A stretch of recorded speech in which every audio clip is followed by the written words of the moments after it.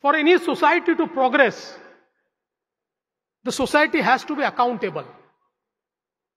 And that accountability comes through financial accountability.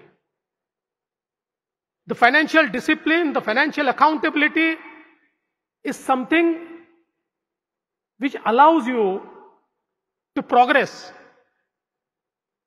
And in today's world, when we are totally globalized, your role has changed a lot. Now, our accountants have not only to deal with the state laws or the national laws, but the international laws. The businesses are locating in several countries.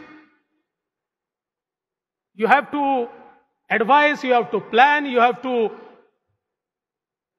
do the correct accounting of the businesses so that they prosper. And I think this complex nature of the work is something that makes you special. I think only those nations have progressed and those economies have progressed which economies and nations had best of the accountants. Without best of the accountants, you cannot progress. Today, even in our state-owned companies, when we go for the CAG audit, CAG looks at the auditor's comment, which is given by a chartered accountant firm employed by the government, and even CAG trusts whatever audit report you have given, and I think that trust is built over the time. Today I'm very happy that in this conference, the theme has also been sustainability. And I think in all walks of life, in all spheres, we have to think about sustainability. And one change which you can bring is to change the rules of the game.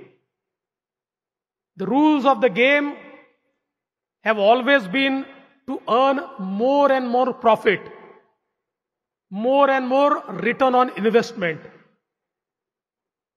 But if we can look at a different device, different ways, where sustainability is more important than profit, or the instruments of sustainability are more beneficial than what we earn into profits or what return on investment we earn, I think we'll be able to perceive the goal of sustainability very fast.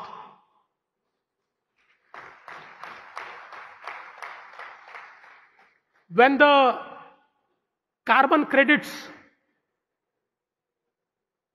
were given and the regime was started, it's a game changer regime. We need to find many more such instruments where we will be able to achieve sustainability, protecting the interests of businesses and investors. And I think bright minds like you can do it.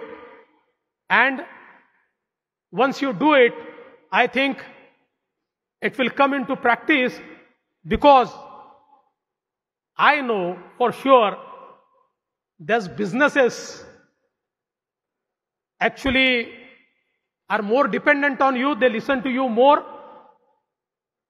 As rightly once said by Mr. Tata, that for running my business, I require MBAs, but I require chartered accountants to tell them how to run my business. So I'm very happy that this theme of sustainability is also embraced by the accountants. It will accelerate our endeavor towards achieving sustainability in the future